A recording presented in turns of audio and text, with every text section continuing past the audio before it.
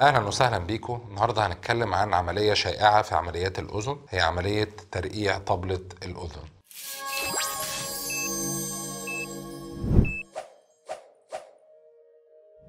إيه اللي بيخلينا نفكر إن المريض ده محتاج ترقيع طبلة الأذن؟ إن هو عنده ثقب في الطبلة. أسباب الثقب ووسائل علاجه بتفاصيل موجودة في فيديو مستقل ولكن باختصار هو ممكن يبقى مريض تعرض لإصابة أو خبطة على ودانه أدت لثقب مريض جاله التهاب في الأذن أدى لوجود الثقب والالتهاب ده كان شديد شوية وما خفش بالأدوية أدى لوجود ثقب في طبلة الأذن.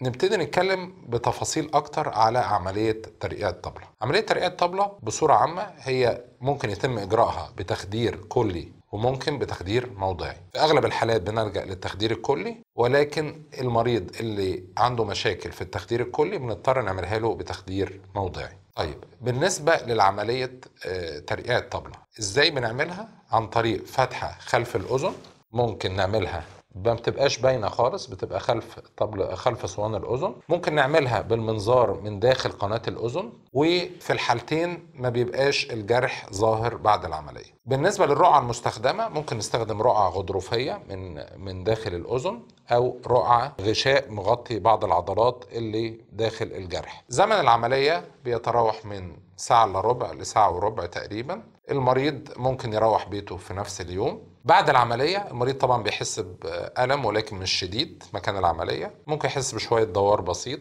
وبيحس إن ودنه ما زالت مكتومة والسمع فيها مش قوي إلى أن يتم التئام الرقعة أو النسيج اللي إحنا حاطينه مع بقية الطبلة ابتدي المريض بعد كده يحس إن سمعه ابتدى يرجع لطبيعته. في خلال هذه الفترة ممنوع منعا باتا من المريض إن أي مية تخش داخل الأذن. ممنوع أي حاجة تؤدي لتغير الضغط داخل الأذن لحين ارتئام الرقعه يعني ما يحاولش المريض ينف أو يضغط كده جامد. ما يحاولش المريض لو جاله عطسه أو حاجة يحاول يفتح بقه.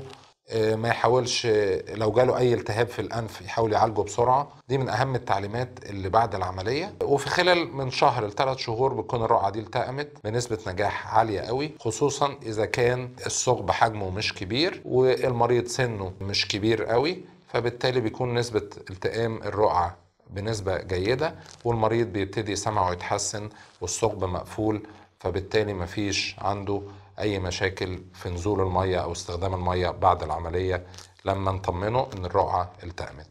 دمتم سالمين.